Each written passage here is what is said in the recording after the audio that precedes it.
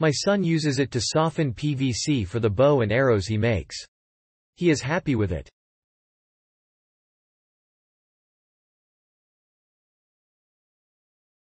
I used this to get air bubbles out of my candles. Used on low, works perfectly.